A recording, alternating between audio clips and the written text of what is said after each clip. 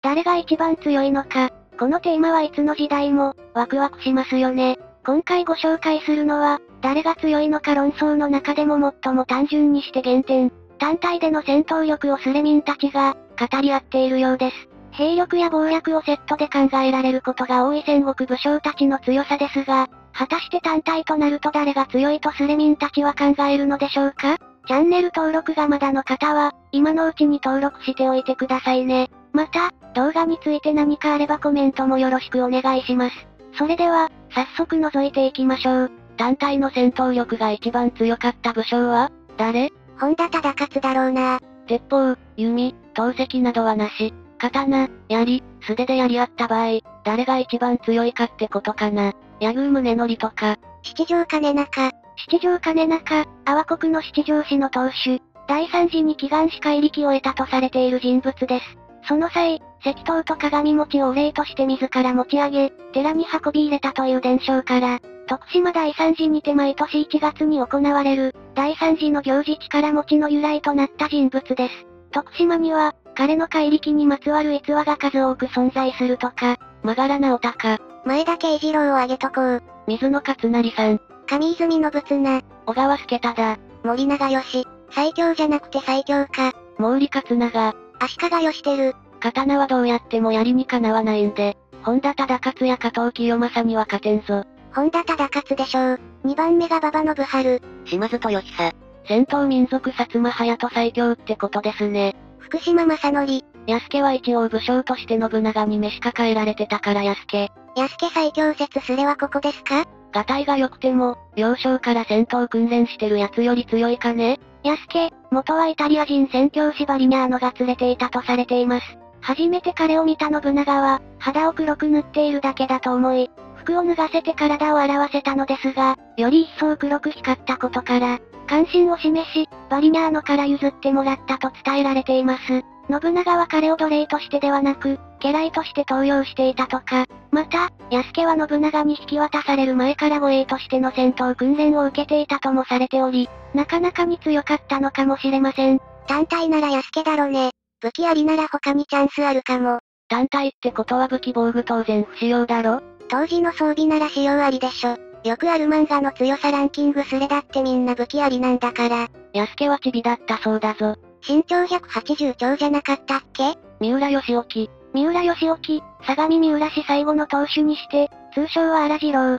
身長は、7尺5寸、227センチと伝えられており、6センチの鉄の厚みの甲冑を身につけ、一丈余り、約3メートルの白樫の丸太棒を振り回して戦ったとか。弓がありなら、火縄銃もありでは？じゃあ誰か鉄砲上手い人だろね。その辺に潜んで狙撃されたら剣や槍がいくら強くても意味ない。集団戦前提の当時の銃でそんなスナイパーみたいなことできないと思う。外したら終わりだし、単体なら弓が上手いやつの方がまだ強いだろう。二人針の弓や三人針の弓の名手レベルになると甲冑貫通してくるからな。火縄銃は1対1の打ち合いになると再装填に時間かかるし、近距離じゃないと命中率も威力も出ないし、火種が消えないように急な動きは制限される。1対1は不向きでは弓だったら大島光義。ガタイで言えば東堂高虎は上位ランクイン。若い頃は最前線で戦うパワータフネスのブルファイターだから。東堂高虎は、伊予今治藩主、後の移設藩の初代藩主、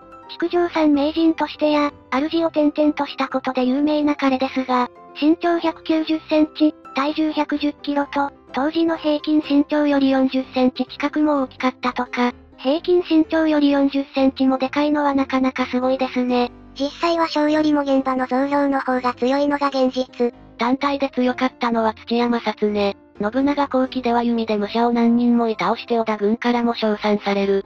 後世の創作で土屋千人切り飛ぶ気を変えられ数も誇張されるが、息子は大した実績もないのに血筋で厚遇され2万石の大名へ。神才蔵あと宮本武蔵も入れていいかな？宮本武蔵は武器が何でもありの本当の戦場では投石ぶつけられて負傷。剣豪も飛び物には勝てなかった模様。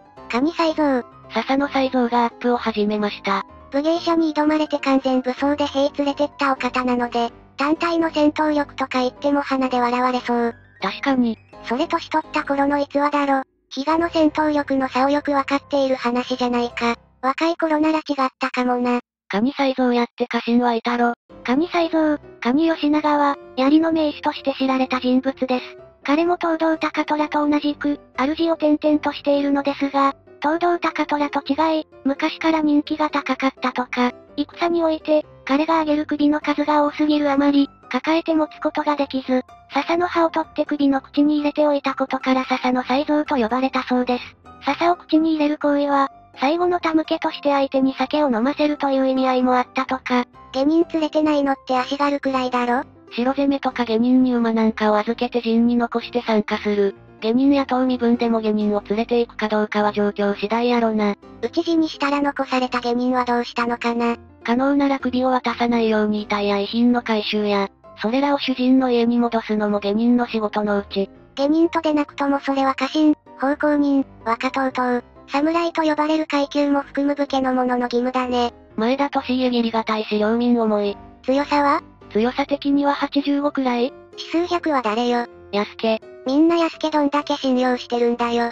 安家は燃え盛る完全包囲の本能寺を生き延びてるからな。本能寺の変の際、安家も本能寺に宿泊していたとされており、信長の後継者である、織田信忠を守るために懸命に戦ったとされております。その後、捕獲された安家の処分を聞かれた光秀は、黒やっこは動物で何も知らず、また日本人でもないゆえ、これを殺さず、と言い安家は命を救われたとか。ヤグー宗則。戦国のメッシ今川氏真。え？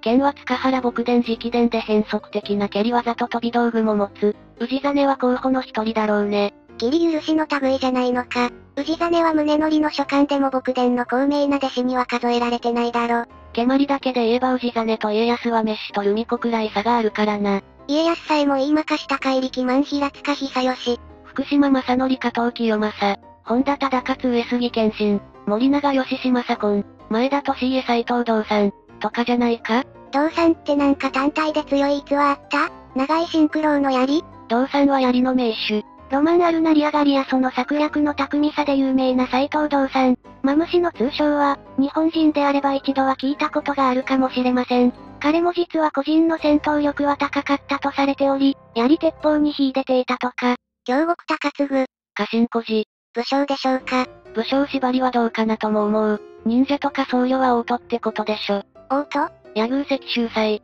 有名どころなら山中鹿之助かな。首供養2回だっけ？一騎打ちの名手、山中鹿之助。山中鹿之助雪森、雨越の家臣であり、8歳で戦場に出て、13歳で敵を討ち取ったとか、16歳の時には、広く流しれ渡った豪傑を一騎打ちで討ち取ったそうです。増田藤金家臣、品川正和との2時間以上にも及ぶ一騎打ちも有名です。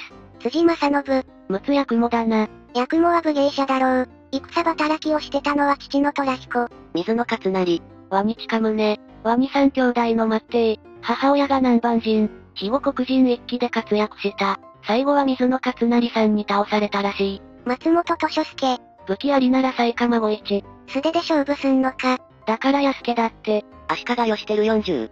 本田忠勝東堂高虎。足利義輝加藤清正。正木俊秀。あと、上吉長竹中重春。蒲生氏里戸田長重。宮本武蔵。この辺もやばいと思う。京極高次。父高吉の代わりに織田信長の元へ人質として送られる。山崎の戦い明智光秀につく、敗北。静ヶ岳の戦い柴田勝家にかくまってもらう、敗北。関ヶ原の戦い西軍につくが後に東軍に寝返る、勝利。維新数伝。天草四郎だろ？首が飛んでも動けるらしい。ジオングみたい。真田幸村上杉謙信。こんなもんじゃない本当に単体で強いのは。単体ってことは兵を率いないで戦うってことだぞ。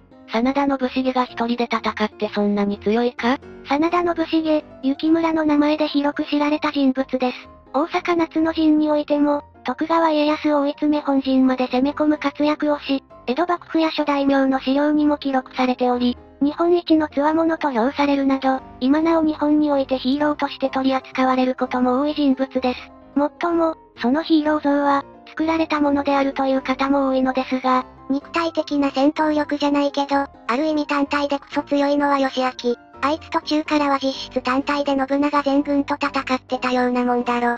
次期八万こと北条綱重。前田刑事に決まってるだろ。塚原牧伝に決まっとろう200人以上殺してるし、RPG でいう回避率という点で南部のブナを生涯に4度も資格を退けたらしい。目立たないスキル隠れるの使い手。おやつにきみたいな低レベルクリアでは一番大事なステータスだな。馬場信春も回避性能は高そう。長篠で撃たれるまで戦で一度も傷を負ったことないとのこと。下級の武士だって家来がついているんだから本人の身の強さなどわからないよ。徳川秀忠は夏の陣で何発か被弾したけど抗生物質がない時代にもかかわらず、問題なく展示を全うしたから最大 HP は高そう。骨に重曹があったんだっけ？だな当時の鉄砲の弾丸は貫通力が低い丸い鉛弾だった。にもかかわらず鉄の鎧を破壊し骨まで達していたということは相当の至近距離から、何発も撃ち込まれたという事実を物語っている。秀忠も戦下手のへっぽこのくせにやたら前に出たがるよな。そのあたりはやはり安城松平の決闘ということか。いかがでしたでしょうか？あなたの思う武将は出てきていましたか？なかなか単体で見る機会というものは少なく、一番を決めることは難しいのかもしれませんが、あなたの思う、単体で一番強い戦国武将は誰でしょう？今回の動画はここまで。ご視聴ありがとうございました。励みになりますので、チャンネル登録と高評価もよろしくお願いいたします。